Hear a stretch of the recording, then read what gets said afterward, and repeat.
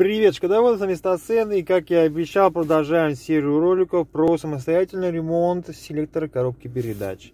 Я получил расходный материал. Вот эта вот субстанция весом в 25 грамм поможет вам не париться о состоянии вашего селектора, работы вашей коробки.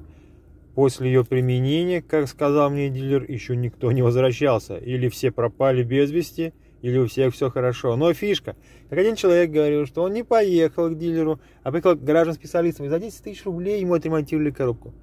На 10 тысяч рублей я могу купить вот таких 10 тысяч штук. Но я еще не проверял субстанцию. Настоящие задачи отнесу я специалистам.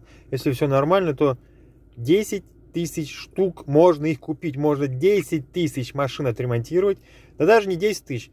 Расход тут минимальный. Я думаю, около 30 тысяч машин можно сделать, если закупить на 10 тысяч вот этой субстанции. 30 тысяч машин.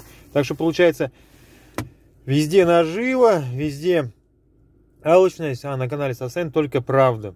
Но правду вы узнаете конкретную, только если будете смотреть Яндекс.Зен Стасен, потому что там только будет все раскрыто в полной мере.